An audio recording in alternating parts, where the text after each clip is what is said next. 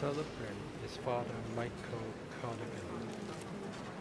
Please join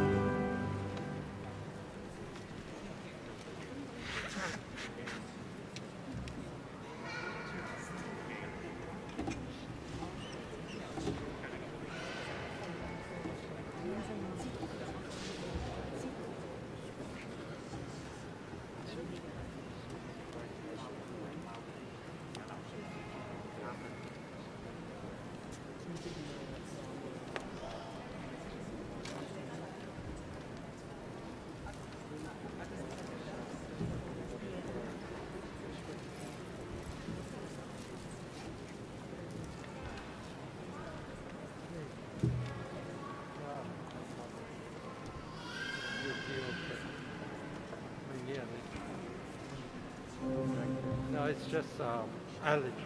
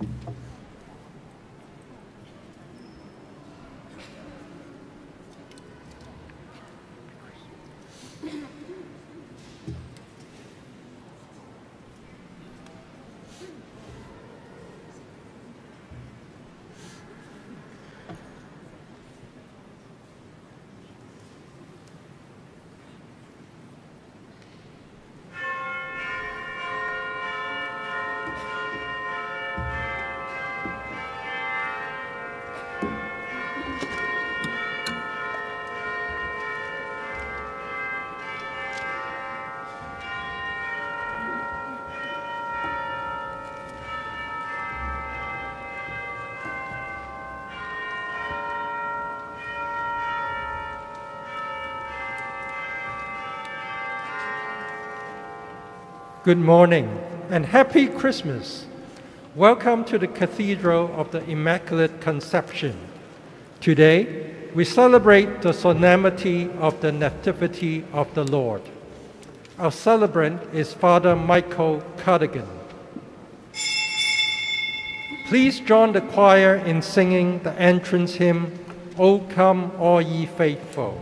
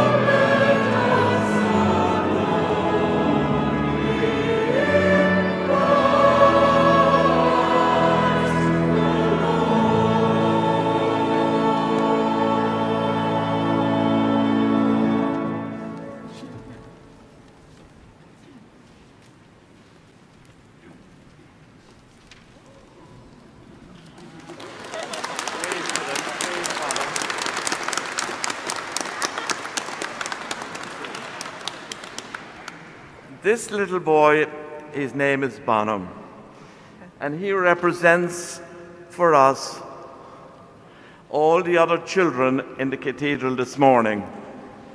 And not least, a reminder to us that this morning we celebrate the birth of a child, the child Jesus. And this little boy, especially at this age, contains the vulnerability and the innocence of Jesus. So thank you, Bonham. Bye bye.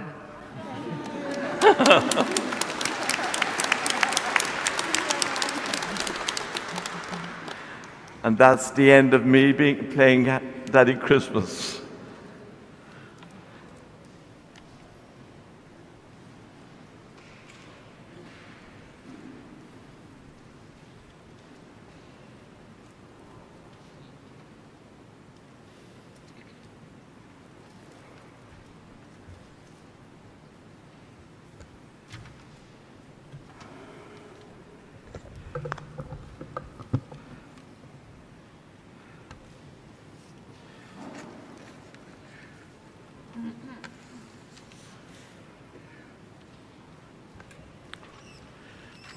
Good morning, everyone.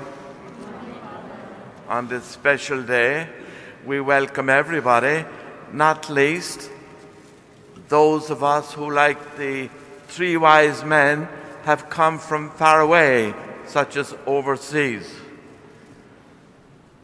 And we welcome those who have come home to visit their families. Because really, this time, this season, is one of family celebration of being together. Because it was into a family that Jesus was born. And we now belong to one family, the faith community of the cathedral. So let us turn around to each other and wish each other a happy Christmas.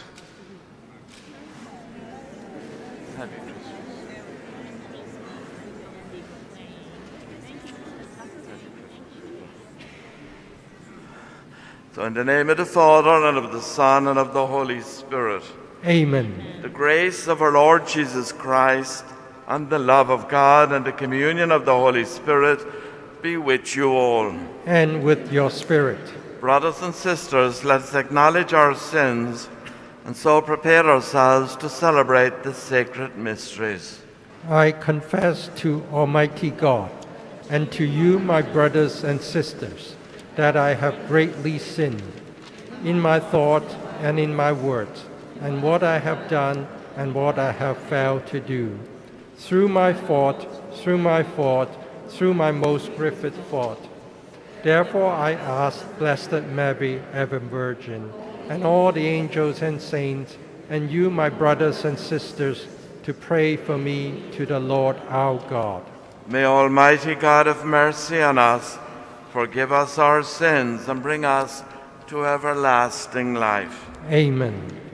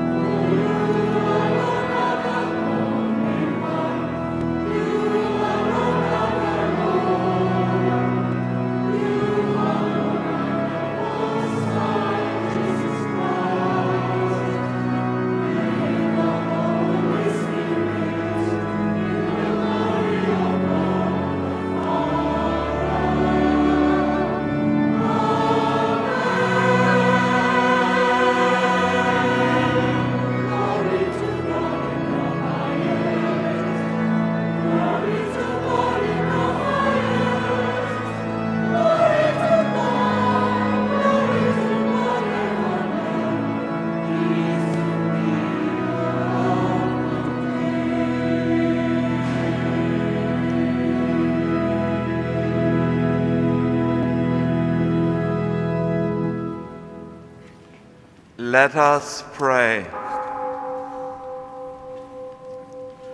O God, who wonderfully created the dignity of human nature and still more wonderfully restored it, grant, we pray, that we may share in the divinity of Christ, who humbled himself to share in our humanity, who lives and reigns with you in the unity of the Holy Spirit, God, forever and ever.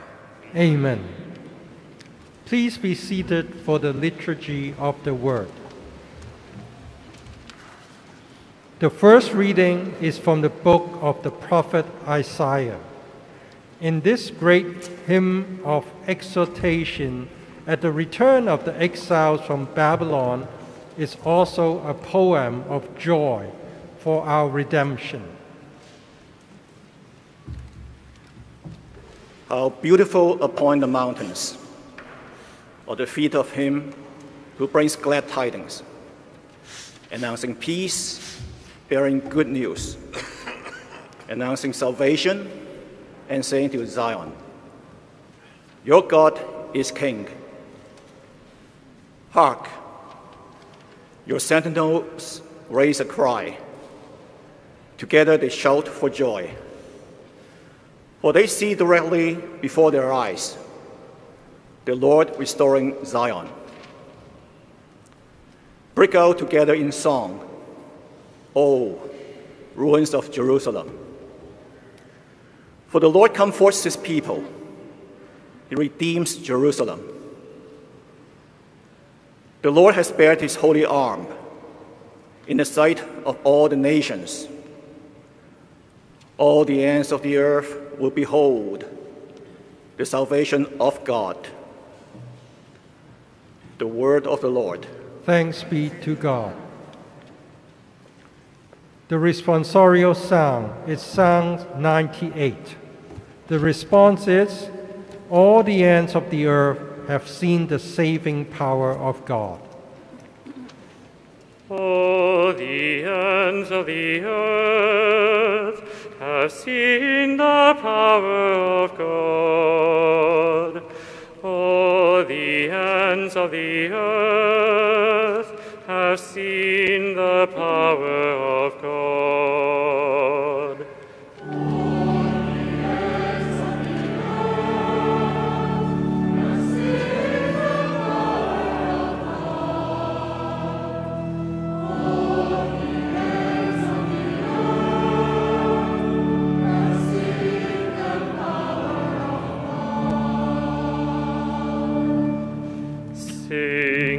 Song to the Lord, who has worked wonders, whose right hand and holy arm have brought salvation.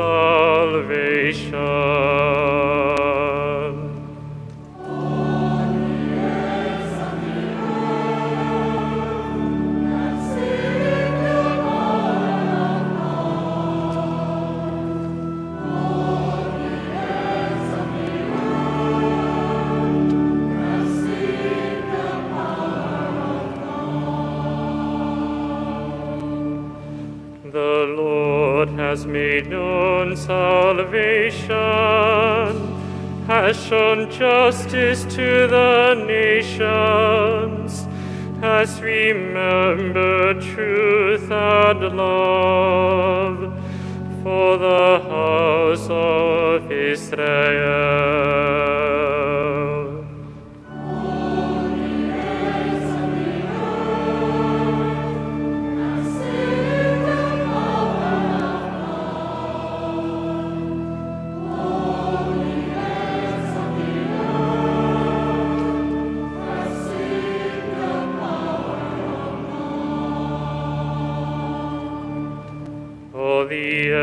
Of the earth have seen the salvation of our God. Shout to the Lord, O the earth,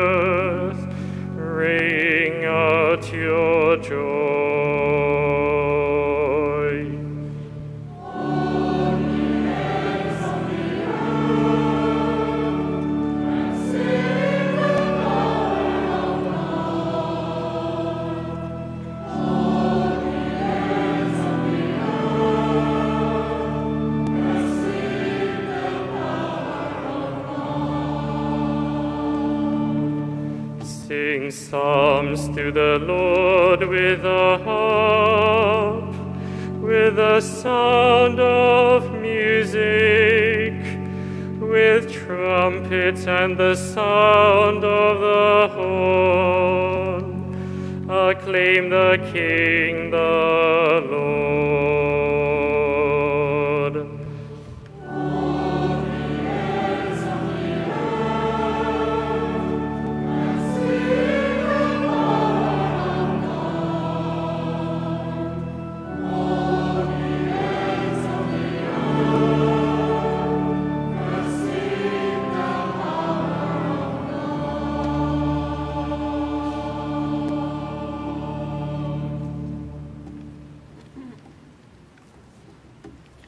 Second reading is from the letter to the Hebrews.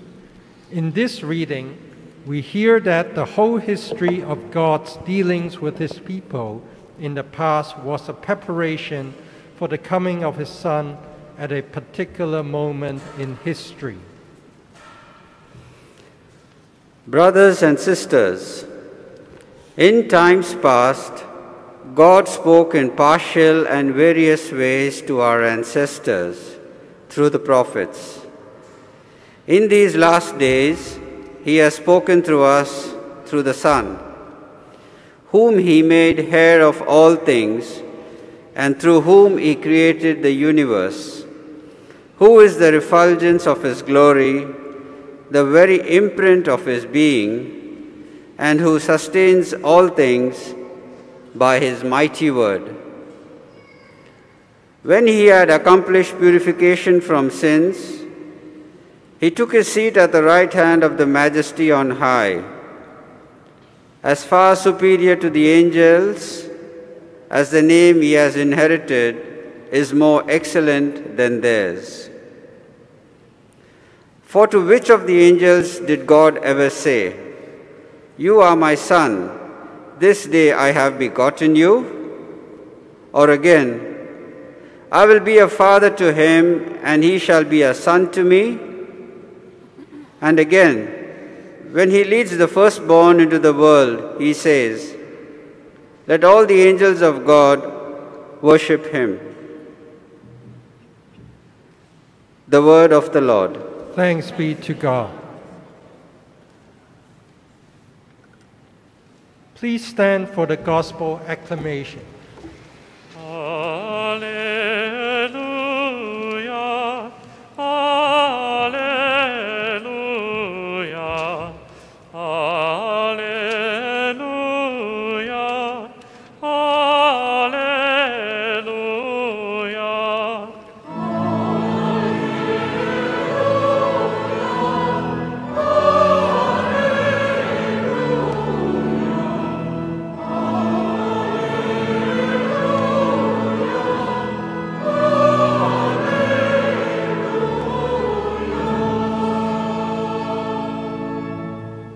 Holy day has dawned upon us. Come, you nations, and adore the Lord. For today a great light has come upon the earth.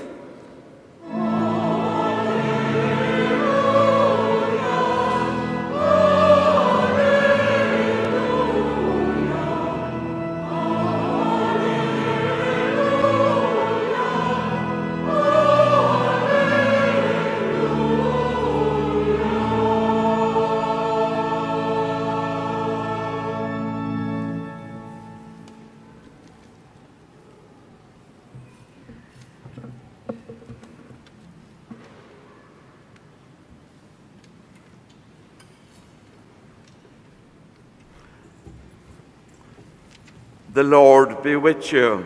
And with your spirit, A reading from the Holy Gospel according to John. glory to you, O Lord.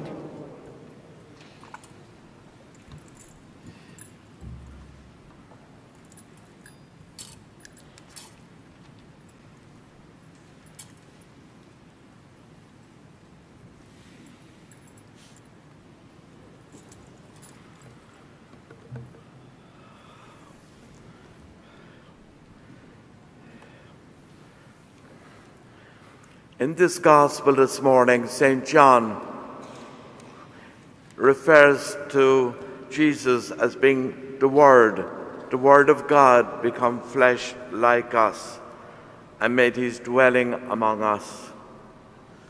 In the beginning was the Word, and the Word was with God, and the Word was God. He was in the beginning with God. All things came to be through him, and without him nothing came to be. What came to be through him was life, and this life was the light of the human race. The light shines in the darkness, and the darkness has not overcome it.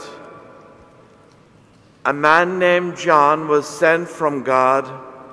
He came for testimony to testify to the light, so that all might believe through him. He was not the light, but came to testify to the light. The true light, which enlightens everyone, was coming into the world namely, Jesus is the light. He was in the world, and the world came to be through him, but the world did not know him. He came to what was his own, but his own people did not accept him. But to those who did accept him, he gave power to become children of God. To those who believe in his name, who were born not by natural generation, nor by human choice, nor by man's decision, but of God.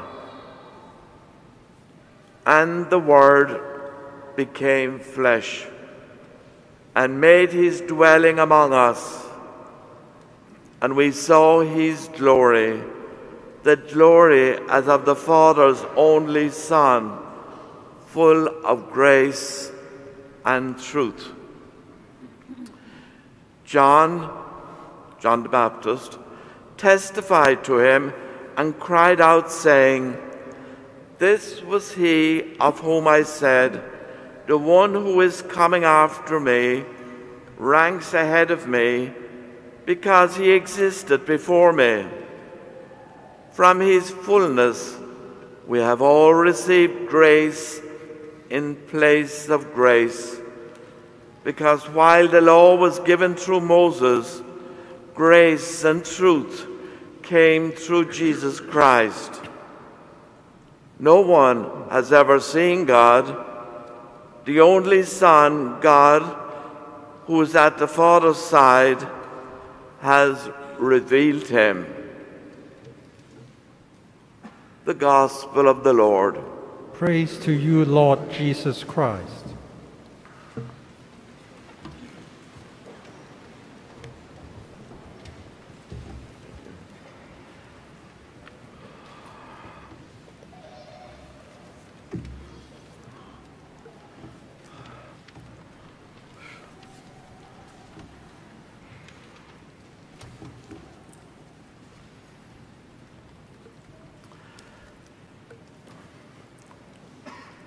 Well, good morning, everyone.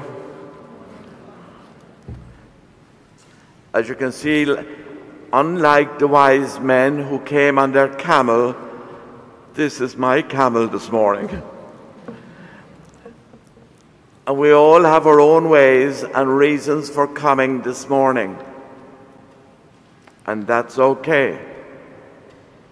But what unites us all at the end of the day we are here to celebrate with relief and gratitude that, yes, the promises that were made in years gone by in the prophecies that a child would be born and would be called Emmanuel. And that's what we celebrate today the fulfillment of those promises that Jesus, the Emmanuel, the Son of God has been born and is with us. Christmas time, like many special occasions, for some people, some people can be a lonely time. They're away from home. Or maybe there are other things in their life that are destroying any sense of inner peace. But I tell them, I urge them to be at peace because our God, the Word of God, as in Jesus, has come to dwell in their hearts and in each of our hearts. That is what we celebrate. And in this celebrating, we ponder the meaning of that. That with the birth of this Jesus, the gap, the distance has been bridged. Because now our God is with us in the person of Jesus, the second person of the Blessed Trinity. We are no longer alone. We have someone who understands us and accepts us and encourages us, not least on those occasions when some people do not understand us and who may be bullying us and may be hurting us in varying ways. That has been a source of peace for me in years gone by when I was still in school, that the Lord knew the truth about me. So, not to worry about what other people may think or say. Remember, the Lord is with us. We are no longer alone. And this morning I invited that little boy Bonham to join us on the altar and take on the mantle of the image of Christ. Because it is well to remember that our God, unlike so many powers and authorities in our world, did not come to dominate us, to abuse us, to force us to do His will. He came in the vulnerability of a child, as seen, and that little boy, Bonham, to invite us. He invites us gently to receive His love, to rejoice in His presence. So often in our world, people in authority in businesses and companies and factories and whatever, they use their position to threaten, to bully their workers. Parents can be very authoritarian. But what we've been invited to do is to be like Jesus to take on his mantle of gentleness and love. Not to force or dominate anyone, and of course that includes all you married people as well, but to gently love and be present with people. We don't have to have any other agenda. Enough that in our own individual lives we are growing in lovability and all else will be looked after. Jesus never imposed himself on anyone. He was there and he responded to people's needs. I think it's probably truthful to say that nobody gets through life without being hurt in some way or another. And today we can rejoice with renewed hope that in this Jesus we have the heavenly healer who came to heal us, to renew our spirits, so that we can rejoice again in our own worth, in who we are. Jesus came as an ordinary human baby, born of Mary, like every other baby that's born, and probably was crying when it was born.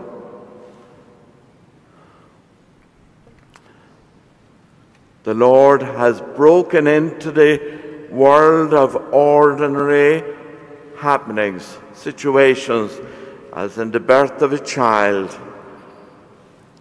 The sacred breaks in to all the situations in our life.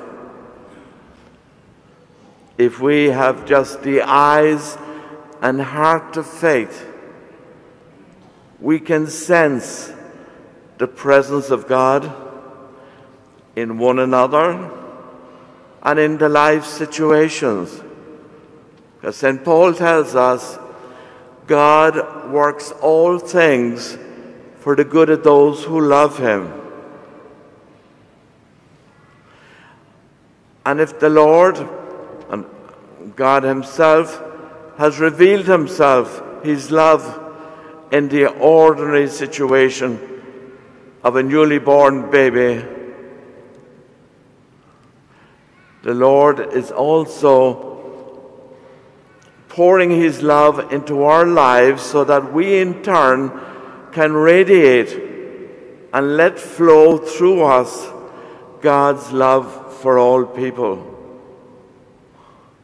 The central message, I believe, of Christmas is that God loves us,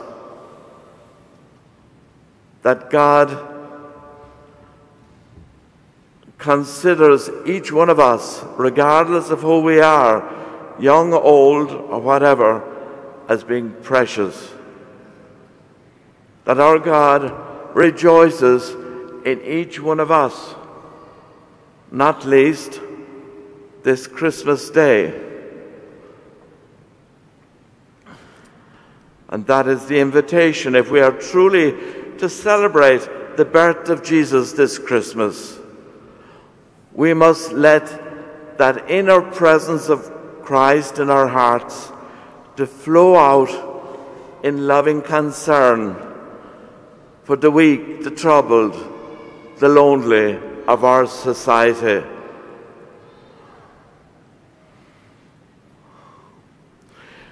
Just as Jesus was referred to as the light of the world, pushing the darkness of fear and sinful, sinfulness away. We too are called to be the light of the world, to be the lamp on which God's love can flow to others.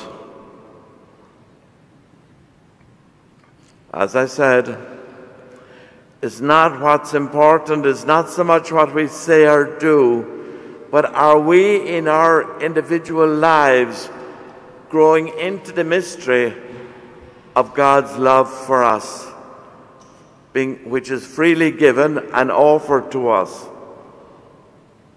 And a feast day like today highlights that gift of God's love for us, that God became one like us to be with us. That is the central message God being with us, that He came to save us, to forgive us our failings. That when we stumble along the journey of life, He will pick us up, He will wipe our tears.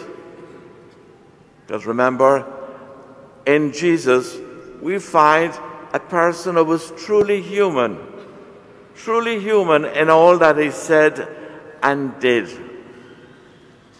You can imagine that this Jesus holds your hand when you stumble and wipes your tears away when you feel like crying, because such was the nature of Jesus, truly human like us. And our gift to our God today and right through life is to continue to grow into our humanity as Jesus lived his humanity. We're told in St. John's Gospel that he is the vine, we are the branches. And if the branch stays connected to the vine, it will bear much fruit. And in our case, to the extent that we remain one with Jesus and allowing Him a resting place in our hearts, then we will bear much fruit in the sense we will be life for ourselves and we will be life for others. Too often, when we speak about our faith, we talk about a kind of an intellectual definition, something of the head. But our faith is all about our heart, a heart that we have in gratitude and trust entrusted to our God.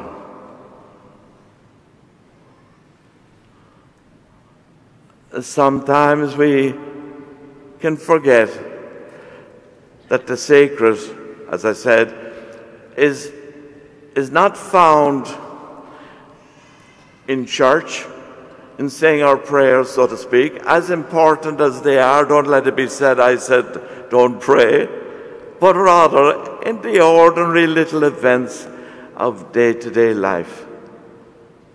The way you say good morning to your wife the way you say hello to people that whom you know or maybe do not know. We are the representatives of this Word of God, of this God who became man, human like us. Let us be human. Let us be human. And the only model we follow is not something so much we get out of books, but rather in the person of Jesus that comes to us in the scriptures and in our silent moments of prayer.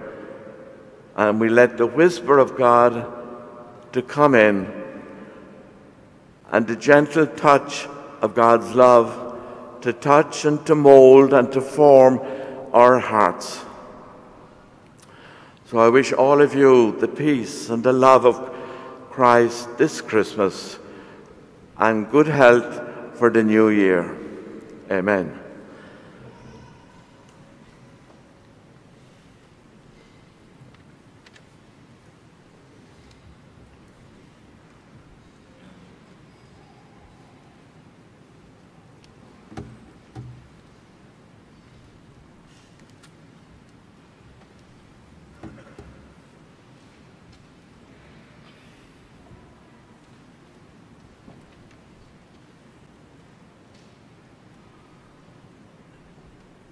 Please stand for the profession of faith. I believe in one God, the Father Almighty, maker of heaven and earth, of all things visible and invisible. I believe in one Lord Jesus Christ, the only begotten Son of God, born of the Father before all ages, God from God, light from light, true God from true God begotten, not made, consubstantial with the Father. Through him all things were made. For us, man, and our salvation, he came down from heaven, and by the Holy Spirit was incarnate of the Virgin Mary and became man. For our sake, he was crucified under Pontius Pilate. He suffered death and was buried and rose again on the third day in accordance with the Scriptures. He ascended in heaven and is seated at the right hand of the Father. He will come again in glory to judge the living and the dead, and his kingdom will have no end. I believe in the Holy Spirit, the Lord, the giver of life, who proceeds from the Father and the Son, who with the Father and the Son is adored and glorified, who was spoken through the prophets. I believe in one holy Catholic and Apostolic Church. I confess one baptism for the forgiveness of sins, and I look forward for the resurrection of the dead and the life of the world to come. Amen. The Lord be with you. And with your spirit. God sent his Son into the world not to condemn the world, but to save it. Let us pray to God with confidence for our needs, the needs of the church and of the world.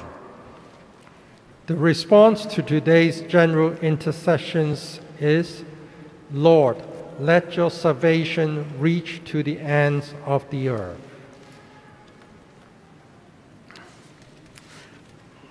For Christians, the, that Christ may fill their hearts with joy and make them heralds of his gospel. Let us pray to the Lord. Lord, Lord, let, your let your salvation, salvation reach to the to ends the of ends the of the earth. earth.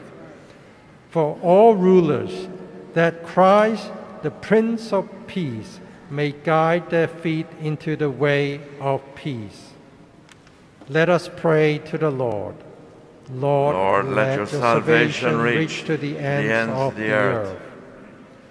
For the sick and the lonely, that Christ, who shared our humanity, may enflame their hearts with his love. Let us pray to the Lord. Lord, let your us salvation reach to the ends of the earth. For our families, that Christmas may find them united in peace and love. Let us pray to the Lord. Lord, let, your salvation reach to the ends of the earth. For those who are away from home this Christmas, that they may know they are not forgotten. Let us pray to the Lord. Lord, Lord, let your salvation reach to the ends, of the earth.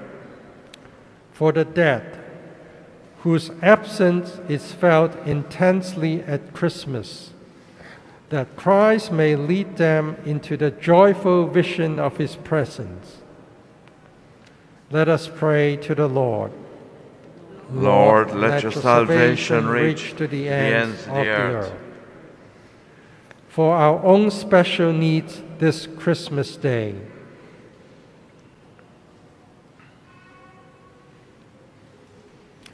let us pray to the Lord.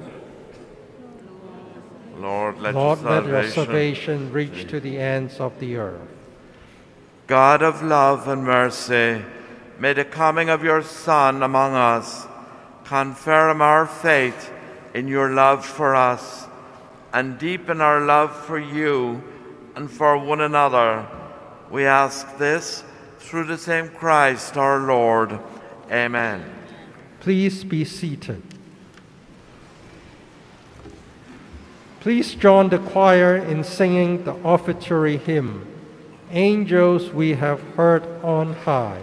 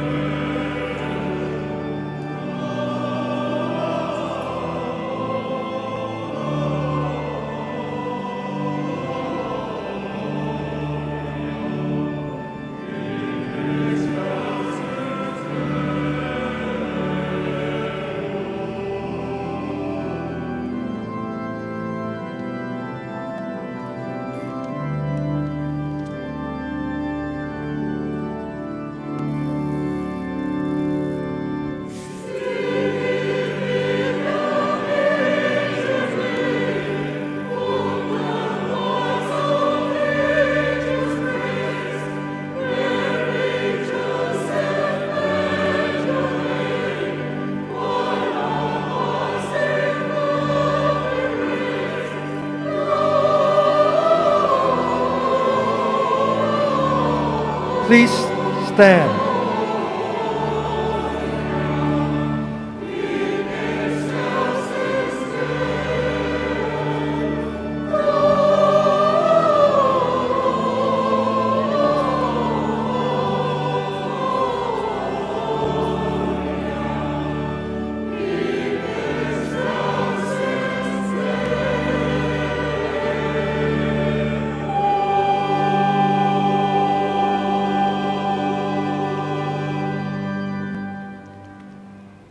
Pray, my brothers and sisters, that my sacrifice and yours may be acceptable to God, the Almighty Father.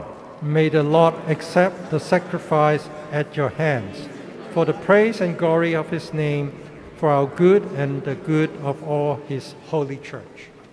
Make acceptable, O Lord, our oblation on this solemn day when you manifested the reconciliation that makes us wholly pleasing in your sight and inaugurated for us the fullness of divine worship through Christ our Lord. Amen. The Lord be with you. And with your spirit, Lift up your hearts we lift them up to the Lord. and let us give thanks to the Lord our God. It is right and just. It is truly right and just, our duty and our salvation, always and everywhere to give you thanks, Lord, Holy Father, Almighty and Eternal God. For in the mystery of the Word made flesh, a new light of your glory has shone upon the eyes of our mind, so that as we recognize in him God made visible, we may be caught up through him in love of things invisible. And so, with angels and archangels, with thrones and dominions, and with all the hosts and powers of heaven, we sing the hymn of your glory as without end we acclaim.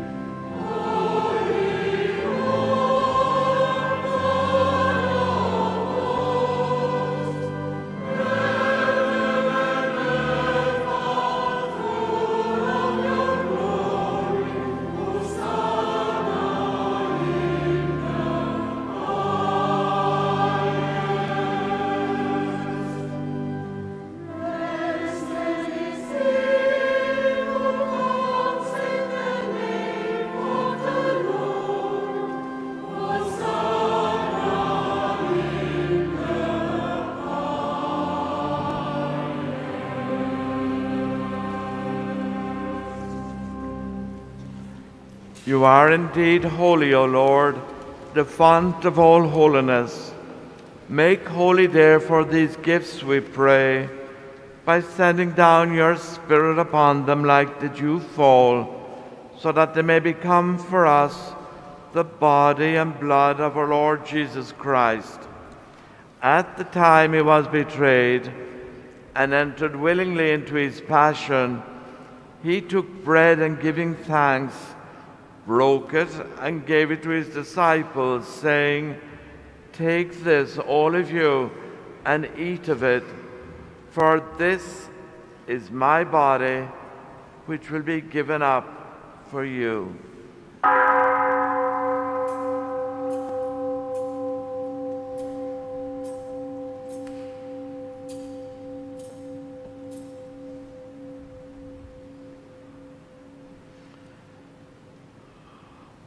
In a similar way, when supper was ended, he took the chalice and once more giving thanks, he gave it to his disciples, saying, Take this, all of you, and drink from it, for this is the chalice of my blood, the blood of the new and eternal covenant, which will be poured out for you and for many for the forgiveness of sins.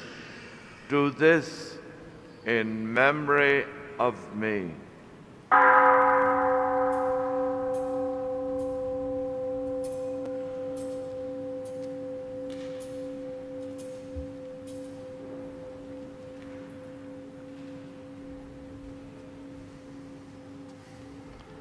the mystery of faith.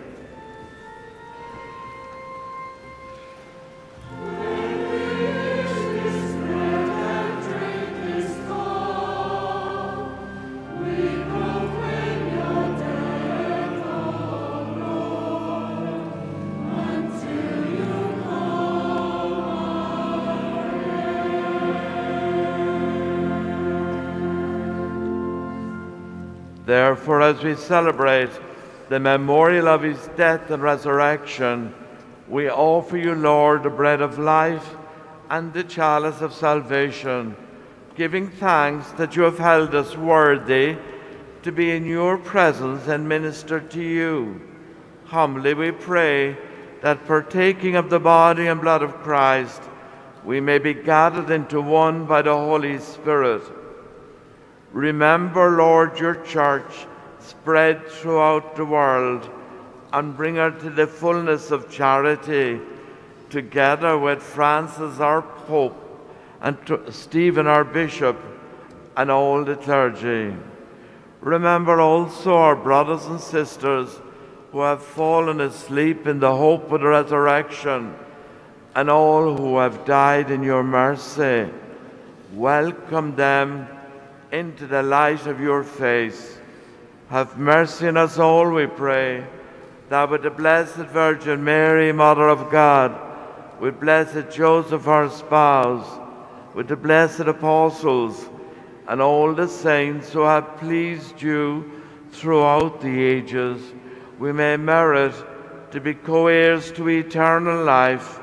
And may praise and glorify you through your Son Jesus Christ.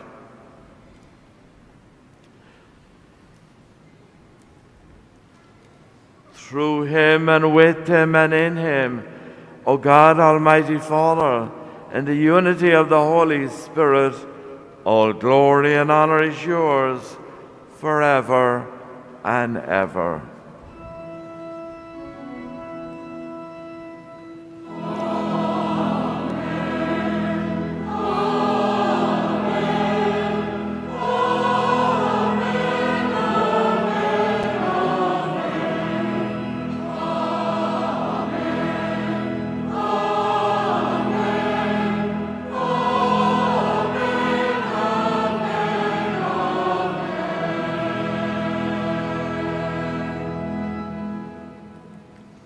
At the Saviour's command and formed by divine teaching, we dare to say,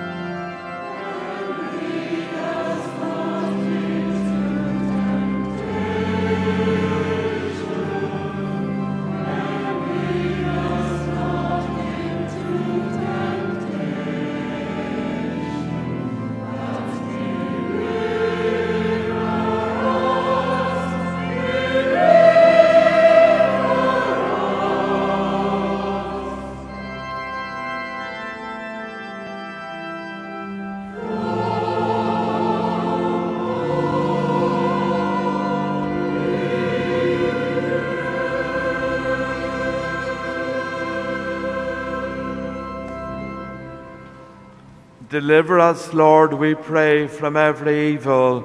Graciously grant peace in our days, that by the help of your mercy we may be always free from sin and safe from all distress, as we await the blessed hope and the coming of our Saviour, Jesus Christ.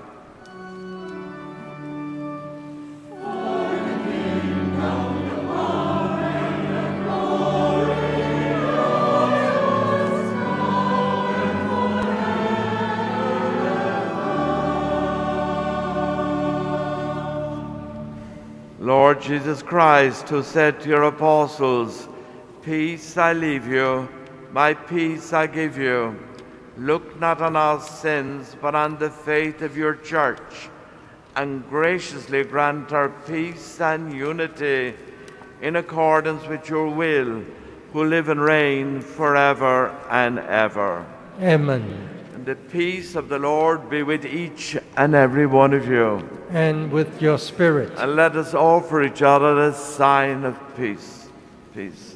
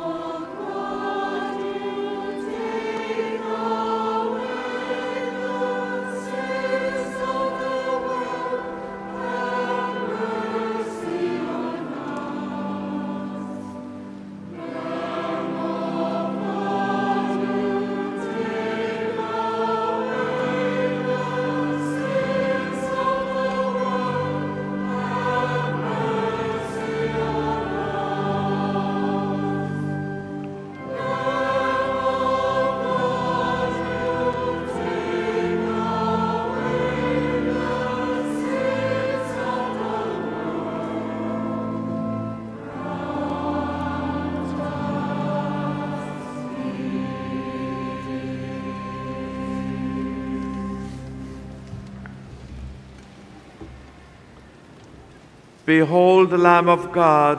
Behold him who takes away the sins of the world. Blessed are those called to the supper of the Lamb.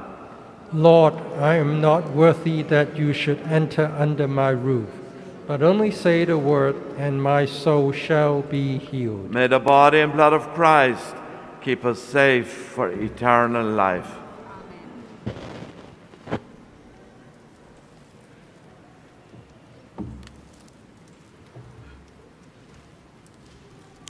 Today's communion hymns are A Clear Benediction and Transeamus.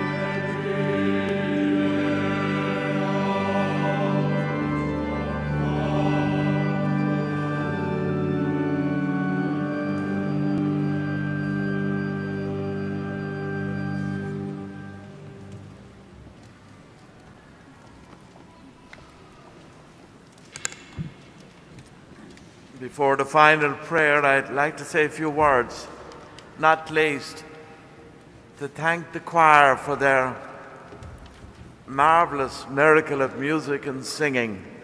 I feel the gates of heaven have been opened a little bit more for us and for me. So, thank you, members of the choir, for your beautiful voices and music and conducting. Please.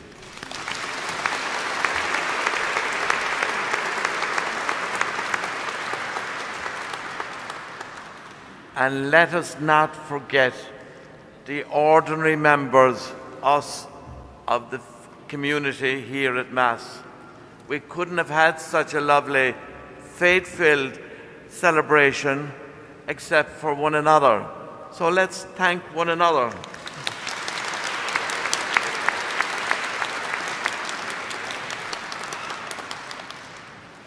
Let us pray.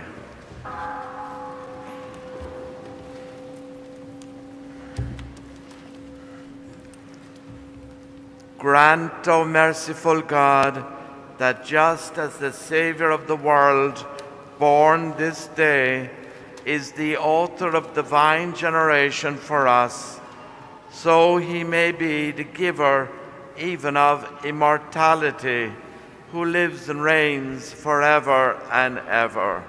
Amen. The Lord be with you. And with your spirit. May Almighty God bless you all, the Father, and the Son, and the Holy Spirit. Amen.